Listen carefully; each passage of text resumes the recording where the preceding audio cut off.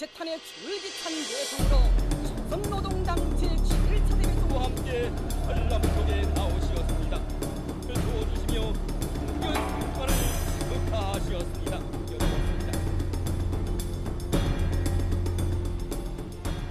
We call on uh, Korea to abandon its uh, nuclear programs, its missile programs, and to refrain from more uh, uh, testing, uh, because this is a blatant violation of uh, several UN security resolutions, and it's uh, a threat to international peace and uh, stability.